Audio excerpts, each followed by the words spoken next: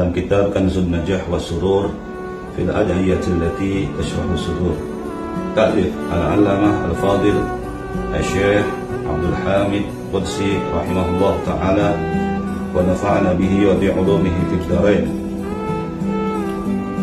قال المؤلف نقلا عن الإمام الغزالي رحمه الله تعالى في الإحياء إلى أن قال وقال الغزالي رحمه الله تعالى في الإحياء عن النبي صلى الله عليه وسلم أنه قال من صام ثلاثة أيام من شهر حرام الخميس والجمعة وسبته كتب الله تعالى له عبادة سبعمائة عام Al-Imam Ghazali telah berkata di dalam kitab Ihya Ulumiddin dari kanjeng Nabi Muhammad SAW.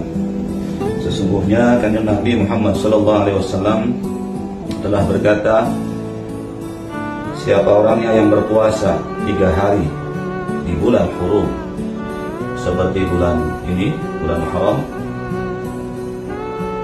berpuasa tiga hari, hari Kamis, hari Jumat, hari Sabtu, maka Allah Subhanahu wa taala akan mencatat baginya seperti ibadah 700 tahun.